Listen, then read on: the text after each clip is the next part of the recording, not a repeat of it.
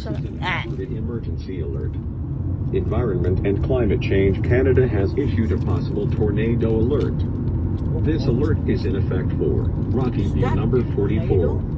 At 4:27 p.m., a rotating severe thunderstorm that is possibly producing a tornado is located 15 kilometers south of Cochrane, moving Oh. east at 20 kilometers per hour.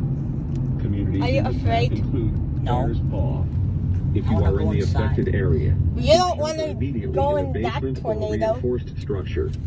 Get low and put as many walls between yourself and the was storm a as surprise possible. for me. In America. Stay away from windows, doors, and outside In walls. the Americas If and you are on the highway and cannot avoid the tornado, Does it seek have shelter in a tornadoes? or ravine. Of course. For details, visit What about Europe? Everyone www.emergency.ca or stay tuned to local media. Again, both directions uh, as heavy rains and